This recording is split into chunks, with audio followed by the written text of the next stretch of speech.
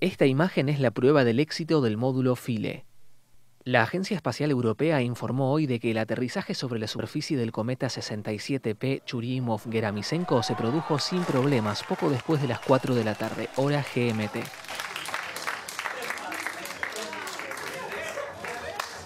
Philae se separó de la nave Rosetta alrededor de las 9 de esta mañana y a partir de ahora permanecerá en el cometa durante varios meses para estudiarlo en profundidad. Entre otros, sus objetivos son tomar muestras de materiales, averiguar el agua que tiene dentro y ver si existen moléculas complejas. Esto es crucial porque en caso de que el agua sea como la de la Tierra y de que el cometa tenga aminoácidos, la Agencia Espacial Europea tendrá la prueba de que fueron esos cuerpos los que trajeron el agua y la vida a la Tierra.